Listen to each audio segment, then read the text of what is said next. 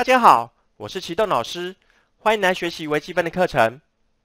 我们已经认识了自然指数函数，不过除了以欧拉数一为底数的自然指数函数，还有以其他正数为底数的一般型指数函数。所以在这个单元，我们将会遵循相同的脉络，来了解一般型指数函数的运算技巧。我们在高中学过以任意正数为底数的指数函数与其对应的函数图形。现在就让我们先回顾这个概念。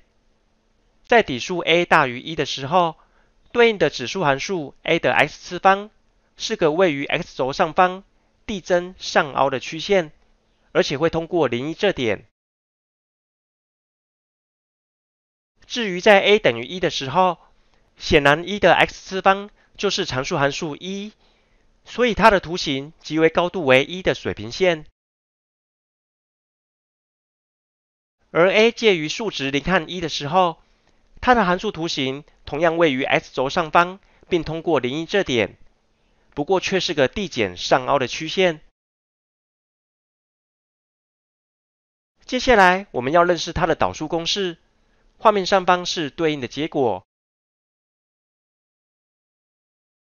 首先是 a 的 x 次方的导数为原函数 a 的 x 次方再乘以 log a，然后是推广的形式。假设 u of x 是一个以 x 为变数的可微分函数，则 a 的 u of x 次方的导数就会等于原函数 a 的 u of x 次方乘以 log a，再乘以 u 的导数 u prime of x。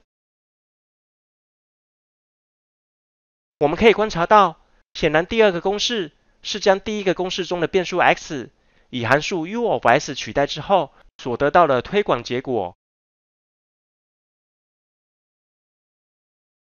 为了得到上方的结果，我们必须借助自然指数一的 x 次方的导数公式。因此，我们透过这个机会回顾对应的结果。自然指数一的 x 次方相当特别。它的导数就是它自己，而且它还是唯一一个微分等于自己的函数。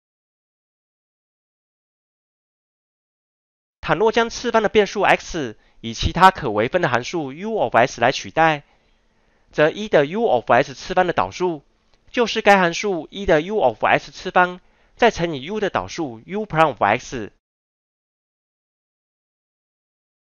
我们将使用以上的自然指数导数公式。来验证画面上方的结果。先考虑第一个公式，也就是 a 的 x 次方的导数。我们可以利用自然对数 log s 和自然指数一的 x 次方互为反函数的关系。先将 a 的 x 次方取自然对数，再取自然指数，也就是后方的呈现。这个结果仍是原函数 a 的 x 次方。接着将重心放在次方的部分，我们可以借由对数律，将自然对数内的次方 x 提到前面写为系数乘法，如同后方的式子。然后利用推广型的自然指数导数公式，这个结果就是原函数一的 x 乘以 log a 次方，再乘以次方函数，也就是 x log a 的导数。后项可以借由 x 一次多项式的导数公式，得到 log a 的结果。再次利用自然对数和自然指数互为反函数的关系，前项可以写回 a 的 x 次方，就完成了第一个公式的推导。接下来我们将验证第二个公式。为了方便起见，先定义函数 f 为原先的 a 的 x 次方。根据刚刚得到的结果，它的导数 f prime of x 就是 a 的 x 次方乘以 log a。在这里，我们发现 a 的 u of x 次方就是合成函数 f of u of x。于是，利用微分的链锁律，会变成 f prime of u of x 乘以 u 的导数 u prime of x。套用上方 f prime of x 的结果，将当中的变数 x 以函数 u of s 取代，则前一项就是 a 的 u of s 次方乘以 log a，得到我们所要的公式。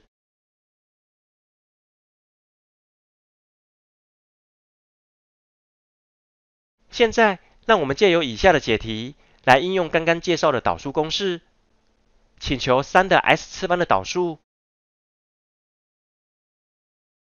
显然，我们必须使用上方的第一个公式，当中的底数 a 对应于数值三，因此结果是三的 s 次方乘以 log 三。第二个问题则是求十的三 s 平方加五 s 减一次方的导数。我们可以使用第二个公式，在此公式中的 u of x 就是位于次方的函数。三 s 平方加五 x 减一，所以结果为原函数乘以 log 十，以及将底数十取自然对数，再乘以次方函数的导数。利用多项式的导数公式，最后一项会是六 x 加五，我们就回答了这个问题。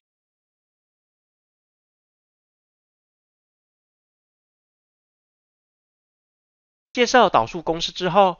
我们可以得到对应的不定积分公式，将上方公式一的等号两侧同除以 log a，就可以得到 a 的 s 次方的不定积分为 log a 分之 a 的 x 次方，再加上积分常数。我们只要上加利用这个公式，就能够解决相关的问题。现在来看以下的范例。请试求 cos x 乘以五的 sin x 次方所对应的不定积分，和上面的不定积分公式比较，我们尝试将次方的函数 sin x 视为新的变数，应用代换积分法化简问题。于是定义新的变数 u 等于 sin x，则它的微分量 du 等于 cos x dx，所以。五的 sin x 次方就化简为五的 u 次方，而原式前方的 cos x 可以与后面的 dx 搭配，改写为 du。这个形式与上方的不定积分公式一致，套用后得到 log 五分之五的 u 次方，再加上 c。最后将变数 u 以原来的 sin x 带回，我们就回答了这个问题。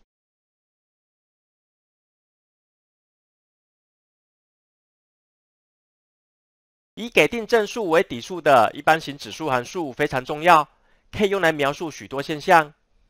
而透过本单元所介绍的运算技巧，也让我们有足够的能力可以解决对应的问题。